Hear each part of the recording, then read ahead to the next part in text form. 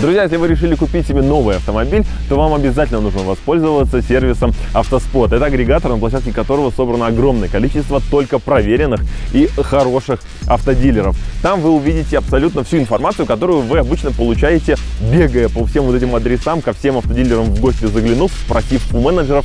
Все это больше делать не нужно, все есть на одном сайте. Все наличие, все комплектации, все акции и скидки. Максимально выгодная покупка вас ждет именно на автоспоте, потому что там есть такое среда для хорошей конкуренции между официальными дилерами. И там дилеры борются за покупателя. Плюс там у них сейчас расширилась география. Посмотрите, наверняка и в вашем городе теперь есть автоспот. Плюс у них появилась клиентская служба, обратившись в которую вы можете получить консультацию по подбору наиболее подходящего вам автомобиля или официального дилера, который максимально удовлетворит ваши пожелания. В общем, автоспот это очень удобный сервис, ссылку на который я оставлю в описании. Итак, друзья, мы продолжаем строить наш Суборожец. Для тех, кто не в курсе, объясняю. У нас есть Запорожец, в котором стоит 202 субаровский мотор. Все это прикручено к коробке от транспортера, которая инвертирована в своей работе. То есть у нас нормально 4 передачи вперед и одна назад.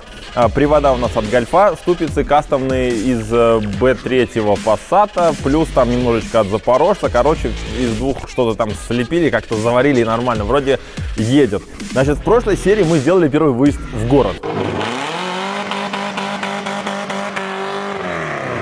Это было очень эпичное событие, но у нас, к сожалению, есть проблемки. Проблемка номер один, у нас не был подключен генератор, то есть э, мы ездили исключительно на аккумуляторе. Сейчас мы это дело исправили. С одной стороны, все очень просто. Мы бросили силовой провод с клеммы генератора на клемму стартера, и как бы все должно, по идее, зарядка идти, но обмотку генератора нужно как-то возбуждать. Так, так как ни приборки, ни нормальные салонные косы, да вообще, в принципе, у нас ничего нету, а возбуждать генератор у нас некому и нечем, поэтому мы а, придумали заменитель этому всему. Просто кинули провод с его клеммы на возбуждение на нашу панельку с тумблерами включения. И теперь заводишь тачку, щелкнул тумблером, все завелось, все начало подавать заряд, и можно уже ехать, э, как бы не боясь, что аккумулятор разрядится. Проблемка номер два – это отсутствие радиатора, то есть охлаждения у нас толком не было, у нас просто был закольцован вход и выход, и все. И ничего, ну, как бы, перегрев можно было поймать в любой момент. Тем более у нас даже не было датчика температуры, мы даже не знали, какая температура в моторе, а это все-таки EJ. Это все-таки Subaru. Бу-бу-бу, тук-тук-тук, 50к, снова бу-бу-бу. В общем, эм, эту проблему мы тоже решили вот таким вот чудесным образом. Вот за это, ну, это можно диссертацию защитить, защищать, я думаю. вот, вот это кастомная система охлаждения. Значит, из чего она состоит? Она сложная и многосоставная. У нас есть два радиатора от Смарта. Они э, между собой соединены вот таким бутербродом. Все это проветривается насквозь вентилятором от того же Смарта. Почему их два? Потому что они тонкие и не такие производительные, как хотелось бы, поэтому мы их сделали двойными. Эм, на их входах и выходах у нас сделаны вот такие вот кастомные тройнички. То есть у нас один большой вход от трубы с подачей э, антифриза. И здесь это все делится на, на два радиатора. С той стороны, соответственно, собирается таким же тройничком воедино и идет дальше. При этом у нас сделан датчик. Датчик? Ну как сделан? У нас проблемки. На этом датчике мало того, что резьба дюймовая, она еще какая-то мелкая. В общем, мы не нашли ни в наличии, ни в магазине, ни мечика под то, чтобы нарезать такую резьбу. Мы даже пытались уже найти какую-то гаечку сюда накрутить, а гаечку приварить. Но даже гаечки такой нету. Поэтому попытка нарезки резьбы самим датчиком. Слушай, а нормально. Нормально, да? Ну, это в стиле ринг-шоу. Походу получилось. Также с другого тройника у нас сделан отвод для тонкого патрубка, который пойдет на расширительный бачок. Туда мы поставим расширительный бачок, вы узнаете чуть позже, потому что это тоже не совсем адекватно, но мы решили, что это будет достаточно весело, и главное, это очень практично. И все это работает вот на этих проводах через релюху и тоже вот в нашей той вот этой вот э, панели с тумблерами включается отдельно наша фигня. А, соответственно, с датчика температуры у нас там где-то валяться будет э, приборка от Джиги, туда все подключим, будем следить за температурой. Пока что тестовый вариант, то есть пока что э, просто, чтобы обкатать систему, чтобы понять, как у нас все работает. У нас еще будет вольтметр, который будет показывать, э, насколько у нас генератор вообще рабочий, вся эта схема рабочая. Вот, собственно говоря. Сейчас мы это все дело соберем. У нас еще патрубки, как видите, не подключены. Подключаем это все дело и, и поехали кататься уже как бы уже не мелкими перебежками по два квартала, а можно прямо поехать в Москву.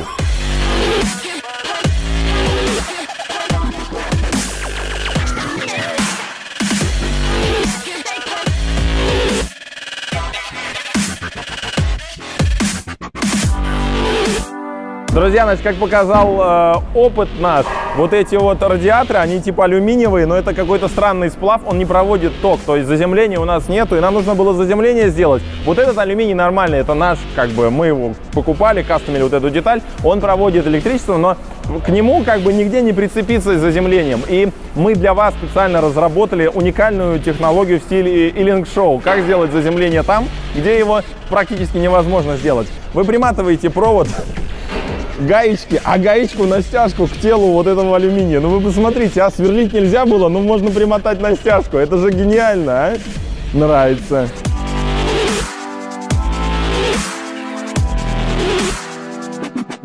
Итак, друзья, мы собрали нашу систему, но немножечко не так, как планировали это сделать изначально. Мы перенесли все-таки датчик из радиатора нашего вот сюда на патрубок, потому что на выходе из радиатора мерить температуру ну, нам казалось что-то глупо. Сначала показалось умно, потом мы все передумали. В общем, мы все-таки взяли трубу, вварили в нее гайку, а в нее винтили датчик. Конечно же, резьба не совпала. Конечно же, датчик туда не хотел сначала ввинчиваться. Сначала. Но тиски хорошая такая трещотка и грубая сила помогла нам нарезать новую резьбу, не отходя от кассы, прямо гайкой на датчике. В общем, все держится, даже вроде ничего там не сопливит. В общем, здесь мы все подключили, все должно работать. Теперь что мы сделали в салоне? Значит, в салоне у нас установлен модуль от приборки ВАЗ-2105, на котором работают у нас, ну, у нас работает все. Самое главное, у нас работают контрольные лампы, да, лампа давления масла, лампа зарядки, чтобы генератор у нас нормально работал, э, датчик уровня топлива, который мы вечно все время куда-то девается, теперь мы будем знать, вот в данный момент у нас топлива нету, у нас и лампа горит, и стрелка в нуле лежит, и самое главное, датчик температуры. Помимо этого у нас стоит электронный такой вот а, вольтметр, и, собственно говоря, все. Но самое главное, где у нас стоит расширительный бачок. Так как э, расширительный бачок должен быть самой верхней точкой в этой системе, его под капот было поставить нереально. Там самая высокая точка это верхняя часть нашего радиатора. Поэтому нам пришлось поставить его в салон, примотать на стяжки фактически к бензобаку и к ремню безопасности. Держится хорошо. Однако парни нам сказали, что вазовский расширительный бачок, скорее всего, не выдержит давления субаровского мотора. И, э, вероятно, произойдут следующие события. Я на ходу должен перегреть движок, после чего у нас взорвется расширительный бачок. Меня ошпарит, я потеряю управление, врежусь в стену, и бензобак взорвется. И из этого адового пламени появляется заставка «Это Илинг Шоу, сука». Однако Илинг Шоу всегда борется за исполнение техники безопасности, поэтому я поеду в капюшоне. Так. Погнали наши городские. Итак, друзья, пока что все работает. Но у нас нет бензина. Что-то ну, я слишком далеко уехал, да? Вот, теперь нормально.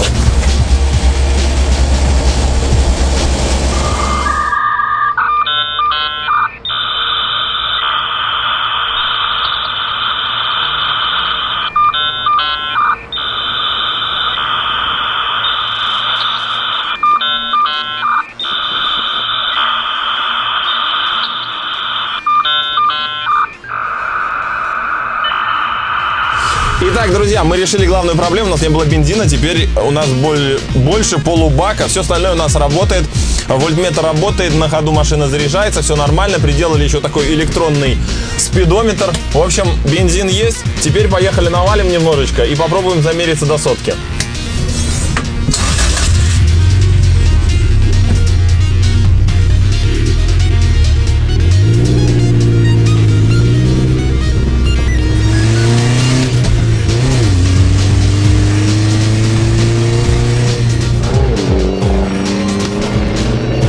На данный момент мне кажется, что использование дизельной коробки было ошибкой, потому что первая работает как очень сильно пониженная, вторая как более-менее первая. Но проблема в том, что когда я сейчас ехал на четвертой, и двигатель уже нормально так орал, Logic показывал около 50 км в час.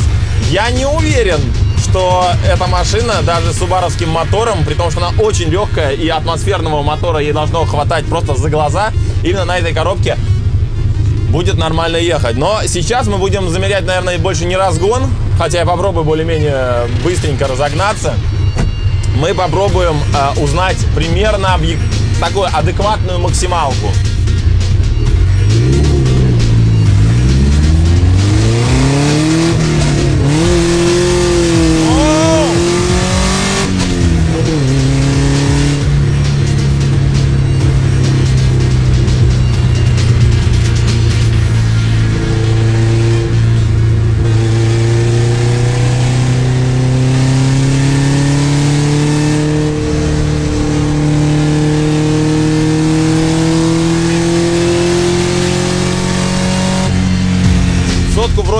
Движок немножко подогрели.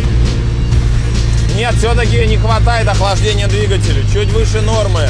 Показывает примерно градусов 100, наверное, он сейчас показывает вместо 90. То есть немножечко отклонилась стрелка от вертикали в эту сторону, несмотря на то, что мы едем. У нас включены вентиляторы.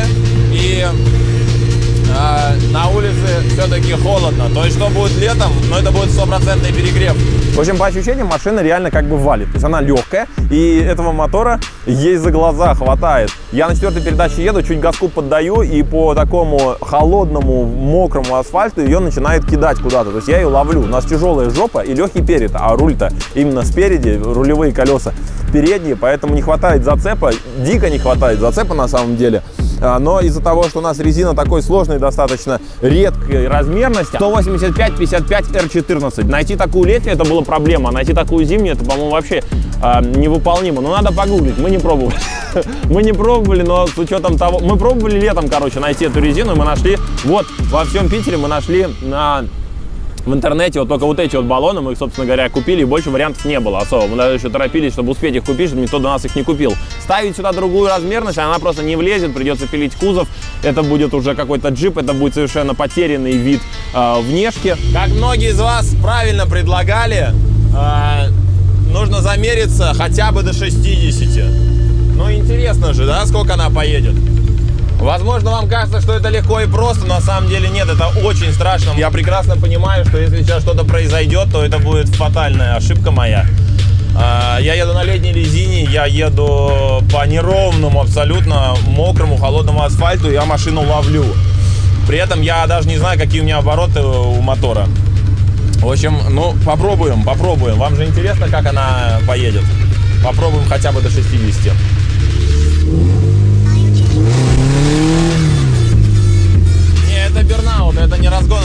Бернаут сейчас был.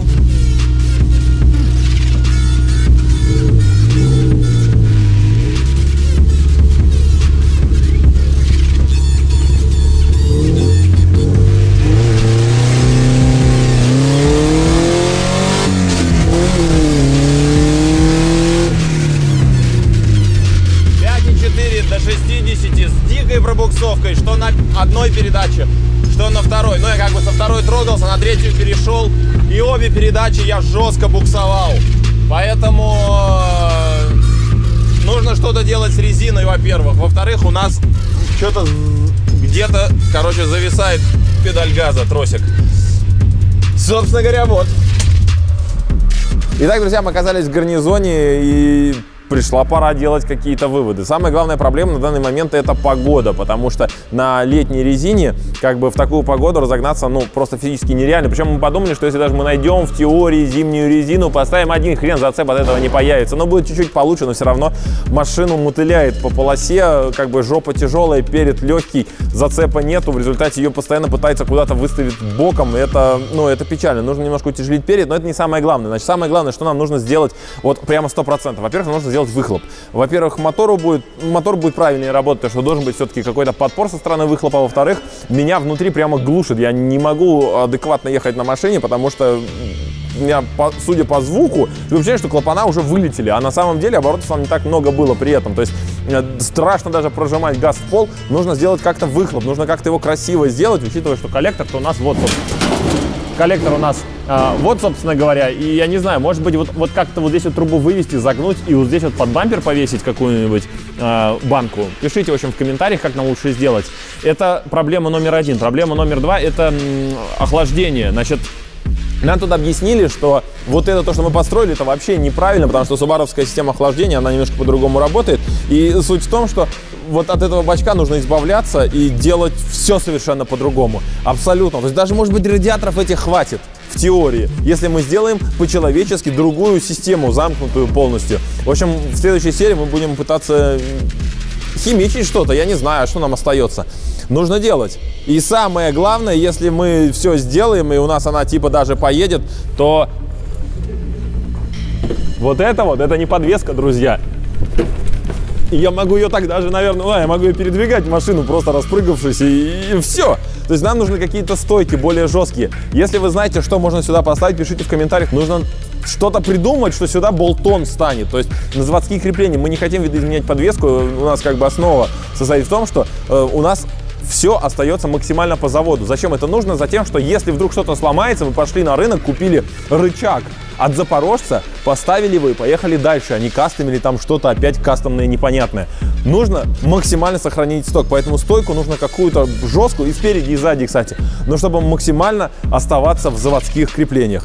Пишите об этом в комментариях, подписывайтесь на канал, ждите следующего выпуска. Следующий выпуск будет, когда мы все вот это вот сделаем, и чуть-чуть потеплеет. Потому что у нас зима в Питере такая, что неделя плюс, неделя минус. Вот будет неделя плюс, мы сможем выехать, поймать зацеп и нормально замериться до сотки. Подписывайтесь на канал, ставьте лайки. Увидимся.